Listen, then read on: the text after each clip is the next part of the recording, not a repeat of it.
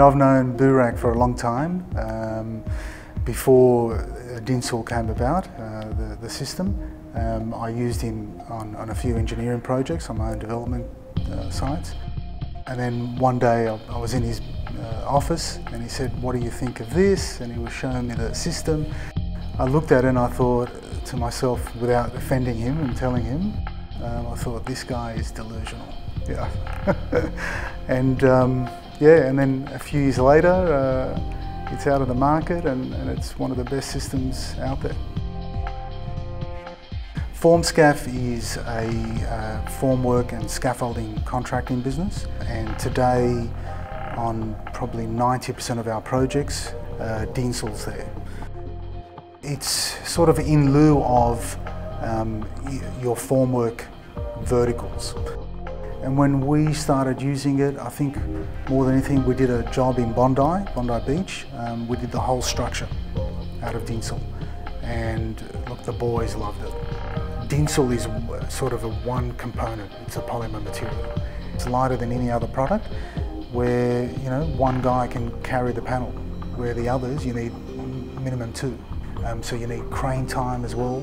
With the Dincel, it's probably, you know, 25% of the time um, if you use that system. It's just more convenient and cleaner, neater, um, and, and, a lot quicker. And I thought it would be ideal for this house, being the design that it's in as well. It's in a sort of um, awkward design. I didn't want to do um, you know, your general uh, brickwork masonry, you know, and, and I wanted to do one skin, which this caters for it. We designed it with uh, Dincel and Associates and the extension part and the first floor was all Dincel. So we used um, downstairs the 200 mil Dincel, upstairs on the perimeter we used 150 and all the internals were uh, the 100 mil.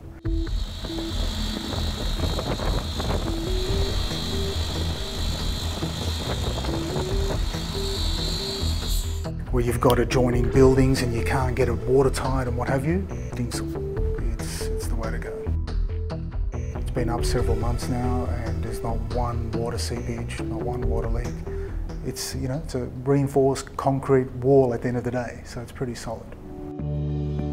On this particular project, we, we cladded it with bluestone, um, mechanically fixed all the way through. We had a cavity of 30 to 40 mil. Your standard masonry wall is 270.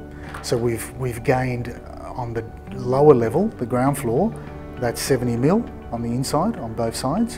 Um, and on the upper level, we, you know, you gain from your 270 to 150. So it makes a big difference.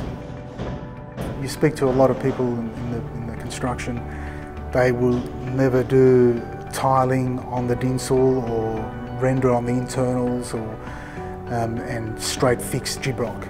I did that. At the end of the day, if you're going to use a channel and clad it and Gyprock and what have you, you're going to lose 50 to 75 mil of your wall. Where here, it was just straight, straight glue or fix with the Gyprock or tiles on, on the on the Dincel wall system. We used the right primer, the right adhesive, and so far to date, not one movement, nothing, it's still there, so it worked out well.